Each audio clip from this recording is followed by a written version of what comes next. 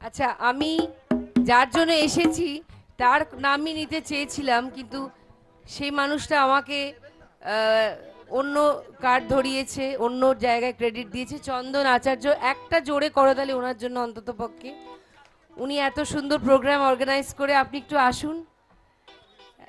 কিছু বলার আছে আপনার? আচ্ছা আচ্ছা আপনি বলে ফেলেছেন যা বলার আচ্ছা। ঠিক আছে থ্যাংক ইউ চন্দন দা, এখানে আনার জন্য আমাকে।